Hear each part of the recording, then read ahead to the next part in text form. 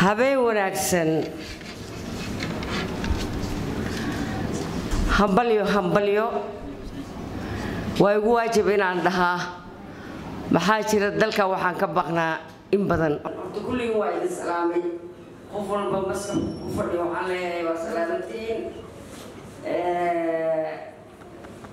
sanatarada jawaahir oo gabar aan jeclahay ay tahay waxaan leeyahay sanatar waana soo sharaftay allah ku sharfo ilmaha in mar walba saan loogu yimaado waa waajib intaanan gelin dalka kan waxaan ka maqnaa soddon sano laakiin waxaa isoo celiyey afar iyo tobankii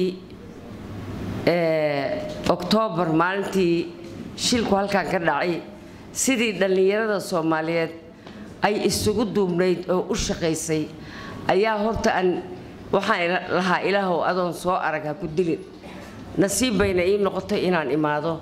Dhallinyaradii oo intii ka sii firfircoon waxaynan u malaynayay dalka dadka ku nool oo dhan. Wax araray iyo wax dhintay. Dhallinyaro sidaan isku haysata inay jirto. Marka waxaan leeyahay waxaadna geliseen ididiilo waxaadna geliseen nolol aan jeclaano dalka yaga waad ku mahadsantihiin adinkoo isku duuban dhallinyaro adinkoo ah madaxdii barito mulkiilayaashii barito annaguna annahay waalidkiin.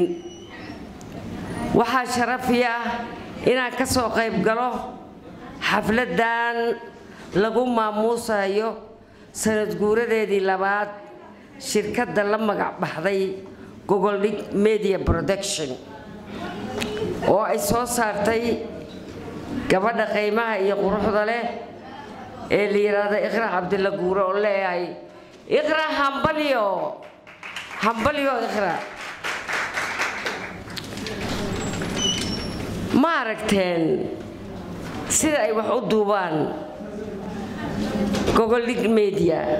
Ma aragteen dadka yaryar ee ayagu soo alifay si ay uga baxaan dhibaatooyinka ay kuna faanaan dalkooda waxay ku barteen waxaan leeyahay waa mar kaleete iyo hambalyo. Hal abuuraha gabadhaa hal abuuraha ee u guntatay inay soo saarto iyadoo u danaynaysa dhallinyarada soomaaliyeed si ay ku helaan shaqo iyo isla jir gogoldhi media ay u soo saartay. Waxaan leeyahay mar kale iyo mar labaadba hambalyo waxaan leeyahay ikhraay udgooney. Gabar la aaminaa tahay dadkaad ilila dheer tahay oo aragtidaadu waa meel ee iqra noqo tii anigsanaa baan leeyahay iqra ha noqoto waa rool modelka ama waxaa la yidhaahdaa qofka la dabagalo oo u istaaga wax marka taas waxay ku tusaalaynaysaa gabdho badan iyo wiilal badan oo soomaaliyeed inay ayaguna sameeyaan shirkadan oo kaleeta iyo mid ka sii qurxunba marka waxaan leeyahay hambalyo waxaan kaloo ku dari lahaa dhallinyarada. Nolosha furaheedu waa nabadda. Waxaad ku dadaashaan si aad tan iyo tug qurux badanba aad u samaysataan inaad heshaan nabad adinkoo isku duuban.